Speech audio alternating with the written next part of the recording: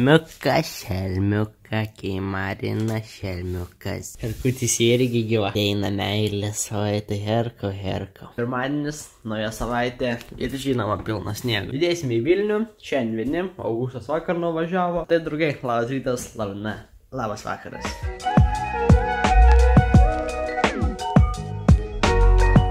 Sninga. Ai, ai, ane? Ai, ai, ai.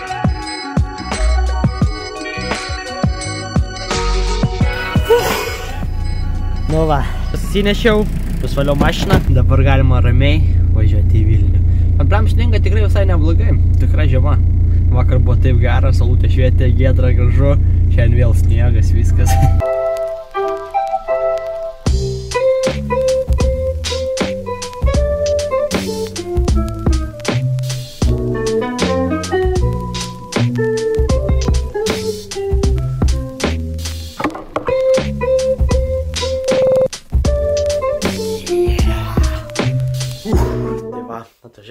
baraką, įsikrovėm visus daiktus, lengvai staigiai pravesti tai, ką atsivežiau į baraką, taigi valgyt, valgyt, valgyt, valgyt, valgyt. Jogurtas, sureliai, šaldiklį medalionai, saldumynų reikmenų, bandelių, gaidelių mamos keptų, acijų, iš saldumynų kitokių ir žinoma atsigerti. Lūpos pradės kilinėti, tai pažiūrėjau, taip pradės kilinėti, kad neįmanoma, tai dabar vazelinu pasi, pasitėpiau, todėl jie išviečia lūpas, žinokite dėl ko.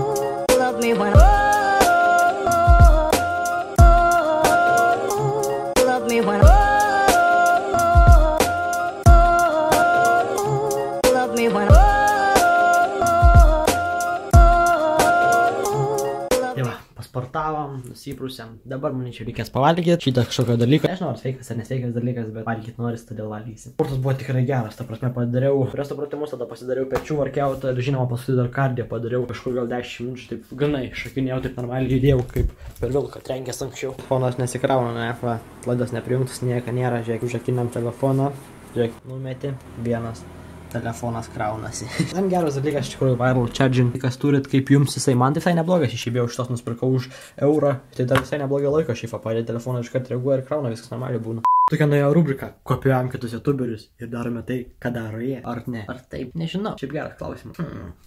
Ką euras naudoja kiekvieną savo dieną, kad išlaikytų šitą grožį.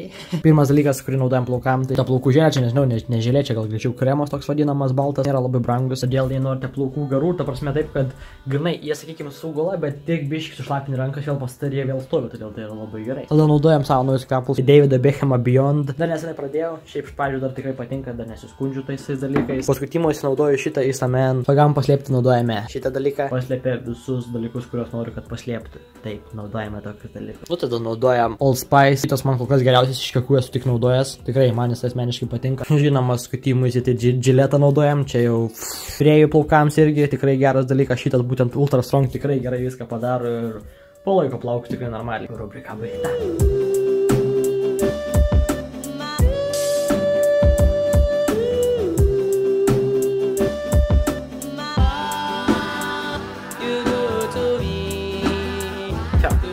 Baigta. Visai neblogai jinai praėjo. Atskaitėme operacinių sistemų paskutinius du laborus, dabar beliko tik egzaminas operacinių sistemų, todėl labai gerai. Ir daugiau kaip ir nieko. O šiaip bloga buvo diena.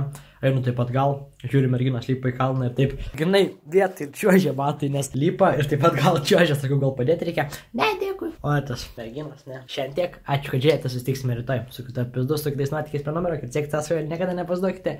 Ir tiesiog mėgta save. Iki. Yeah. Gyvenimas yra gražus, jis tikrai yra toks. Tai, sadidinam šitą epizodą, tada pažiūrime Walking Dead seriją ir einame mėgoti. Viskas.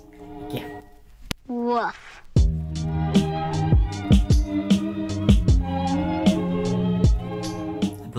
pabaiga, bet dar pasai vara diena ir panašiai. Taip, iš tikrųjų taip ir yra, kodėl todėl, kad nusprendžiau šią visą vietą įdėti į epizodo pabaigą, nes tiesiog manyčiau tai būtų geriau. Pertiksiu iš pradžių visą savo dieną ir paskui pamatysite būtent šią medžiagą. Tai nežinau, ar visi žiūrės ar ne, bet aišku, pagal minutės tikrai galima pasakyti, kad dar nėra pabaiga epizodo, todėl pamanysime tiesiog pakalbėti ir tiek.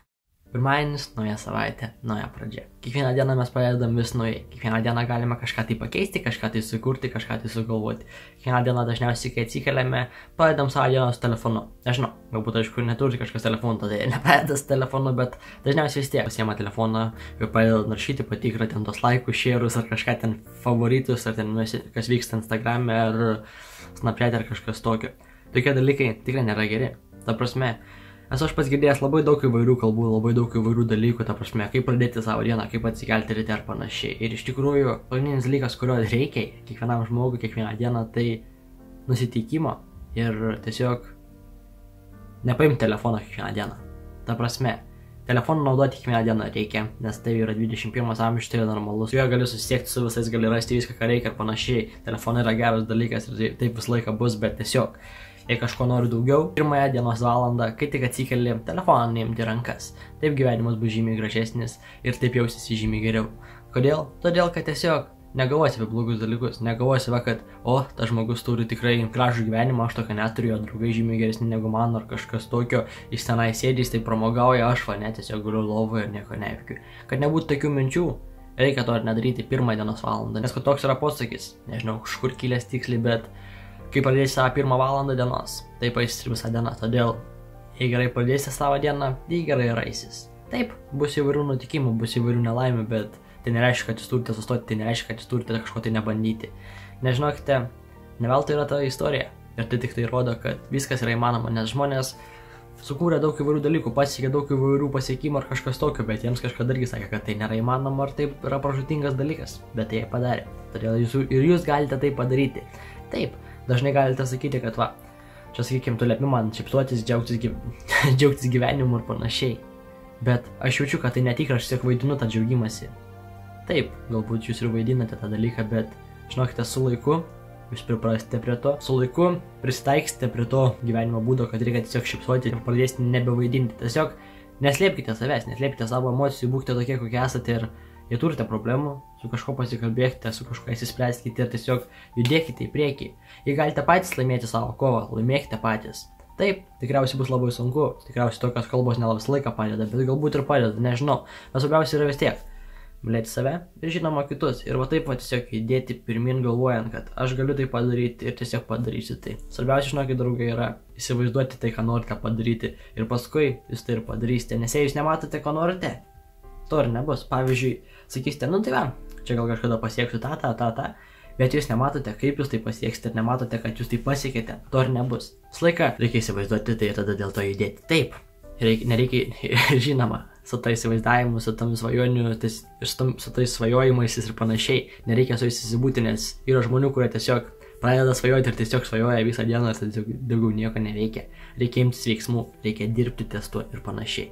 Daug kas sakys, kad tipo, va čia svajonės yra blogas dalykas, bet kai tu svajoji, kai tu matai savo tikslus, kai tu matai, kai juos įgyvendinsi, viskas ir įsipildys. Dirbti link to, dirbti, dirbti, dirbti. Kartais būna visiems sunku atsikelti iš lovos. Visiems, absoliučiai visiems, netgi man. Ir iš tikrųjų tikrai su ta problema susiduriu labai stipriai. Aš pastebėjau anksčiau tikrai nepradėdavau dienos su telefonu ar kažkas tokio ir keldavausi ryte 5 val. 12 klasį kiekvieną mielą dieną, bėgiodavau krosus, yra epizodai, manau, atsimenate, jie esate ilgas žiūrovas, tai keldavomės 5 val. visiškai net nesukdami galvos, visiškai nesunku būdavo atsikelti, belę ką daryti ir viskas būdavo labai gerai. Dabar kažkas vėl pasikeitė, biškai sunkiau yra keltis rytais, bet vėl manyčiau, bandysiu šį mėnesį pavaryti tikrai gerai. Taip, ne 5 val. kelsiuos, bet biškiuk anksčiau negu visą laiką ir bandysiu vėl nebesistatinėti kokio 8 žudintuvų, kaip dabar darau, nes anksčiau užtekdavo tik vieną ir užsiau gyvas. Todėl keičiame savo draugų gyvenimo stilių, kol yra laiko. Ir pradėkime nuo dabar, o ne naujų metų, tai yra nuo sausio mėnesio, nuo sausio pirmos ar kažkas tokio, nes tai yra nesąmonė. Tiesiog reikia pradėti ir viskas. Kiekvienas turime savo kovą ir mes ją turime įveikti. Aš kaip esi įveikiu, tiesiog savo ištisai kartuoju, kad Aivarai, tu gali, Aivarai, tai tai padarysi, Aivarai, tai nieko neprarasi. Kalbėkite su savimi prieš veidrodį, bent jau tokius dalykus aš darau ir man dažniausiai padeda. Tai va, draugai, šiandien dabar jau tikrai tiek. Iki.